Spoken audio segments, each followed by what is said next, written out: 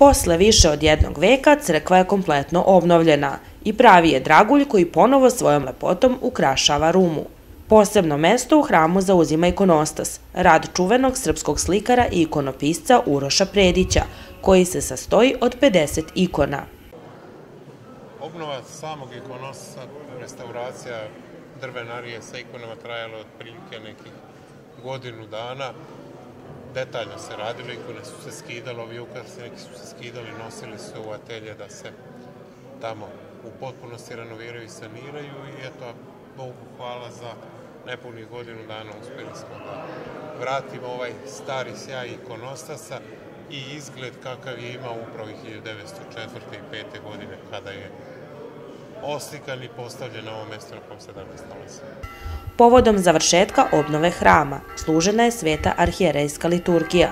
Osveštan je hram i uručena su priznanja ne samo ktitorima, nego i majkama sa više dece, za sav trud koji su pružile svoje deci, ali i srpskom rodu. Ja iznenađena sam, ja, sam gleda jedina koja nije znala da će da, dobiti ovaj da. Ponosna sam naravno, baš mi je drago i eto nisam znala i baš sam u šoku. Lokalna samouprava je učestvovala u obnovi ovog hrama. Za te zasluge opštini Ruma pripao je orden Svetog Maksima, koji u ime opštine Ruma primio predsednik Skupštine opštine Stevan Kovačević.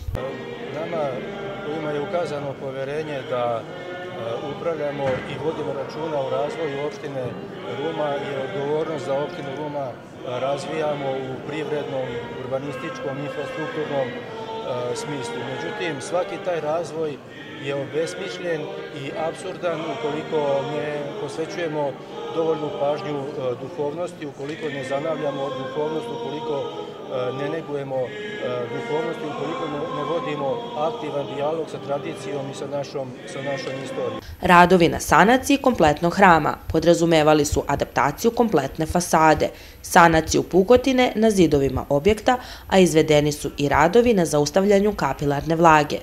Danas crkva pleni svojom lepotom i čuva posebno blago.